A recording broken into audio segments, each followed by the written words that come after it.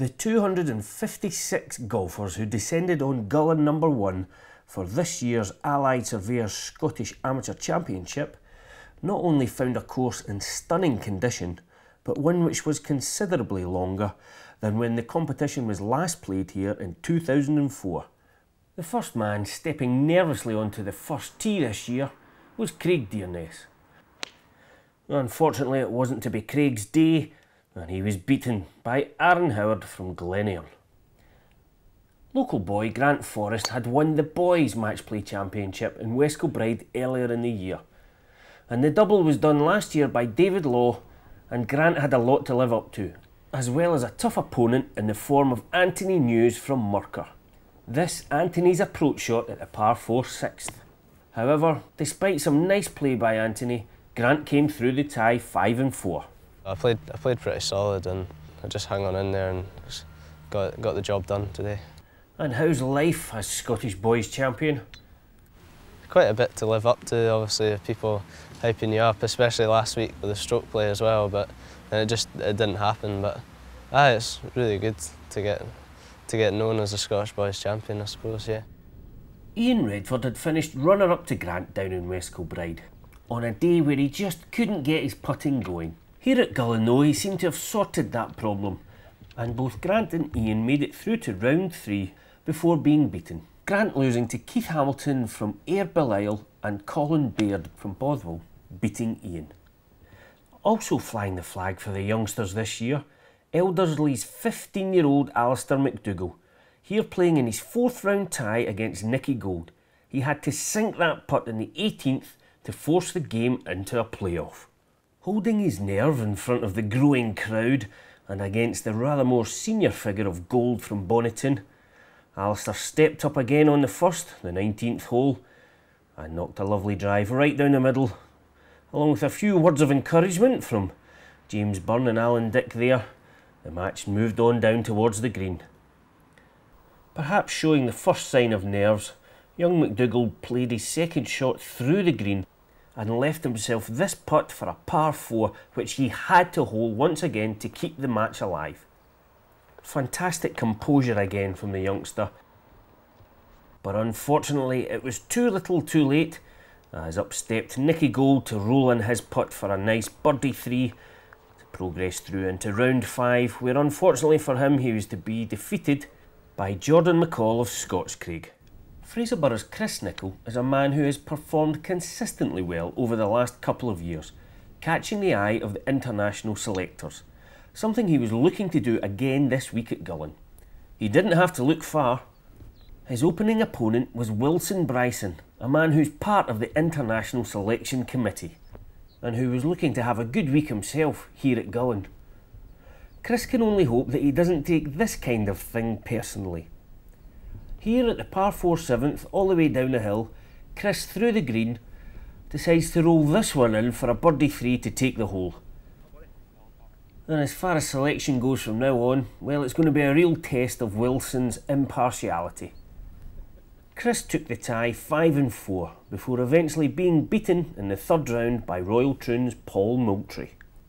Fellow internationalist Greg Patterson has a very good record in recent years in this event and was once again looking forward to this week's tournament.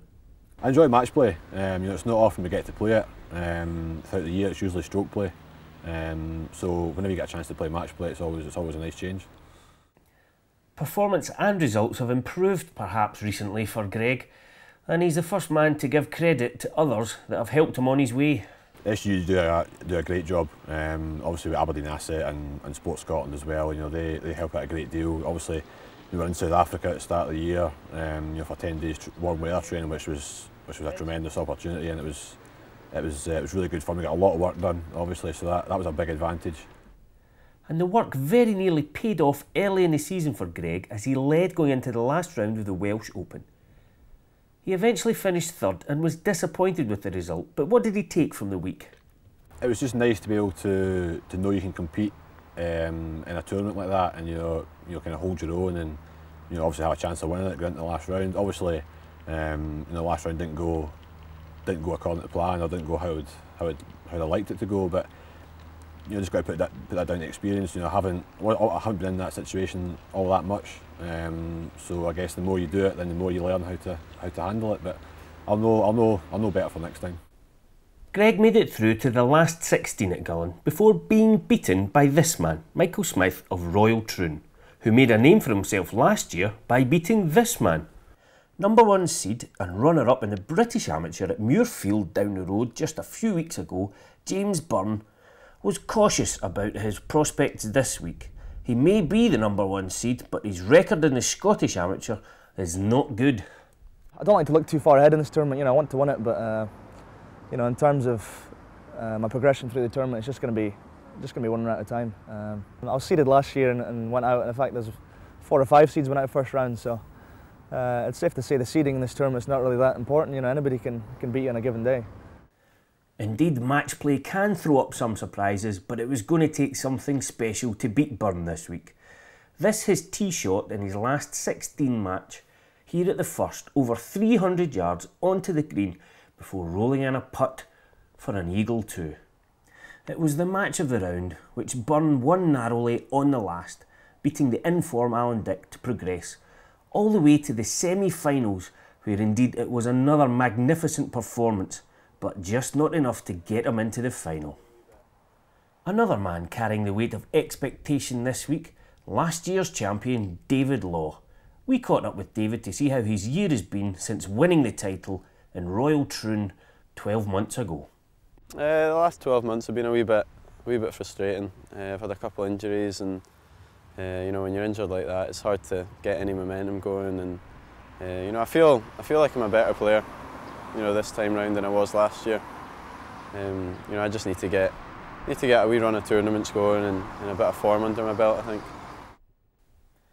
Law had a good run over the week, making a spirited defence of his title before eventually losing out to this man here, Liam Johnson, in the last 16. Jordan Finlay from Fraserburgh was a golfer whose form had dipped over the last few years since winning the British Boys title back in 2004. But with the help of coach Bob Torrance, he has shown a recent remarkable turnaround in form. Indeed, he shot a 66 on Friday afternoon to beat number one seed James Byrne, which included two birdies at the last two holes to close out the victory, and book his place in Saturday's 36 hole final. His opponent was Troon Welbeck's Michael Stewart, a man who himself had shown some remarkable form in the week running up to the final. Like this bunker shot here on the 7th and his last 16 tie against Jamie Mackay. And early on on Saturday morning, indeed on the first green here, it looked as if both players were going to carry on their hot form into the final. Jordan Finlay rolling in a putt for a birdie three to go one up. The final was played in a very relaxed atmosphere between these two, they know each other well, having been teammates for the Scottish boys team and also for East Tennessee State University. This perhaps brought the best out in their game in tough conditions. Findlay here nearly holding his second, the approach at the 17th, and Michael Stewart with this putt for a birdie 3 on 18 to go 4 up at the halfway stage. Findlay fought back quickly though after lunch, winning the first and second meaning that Stewart was only two up. But the lead was never less than that, and indeed, here on the par 5 12th, the 30th hole of the day, Stewart rolled in this eagle 3 putt to go back to 4 up.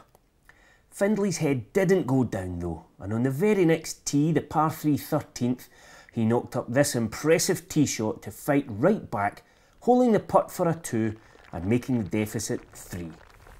But despite being diagnosed with the shingles just a week ago, Michael Stewart was a man who is at the very top of his game. Three up with three to play, this was his tee shot at the 16th.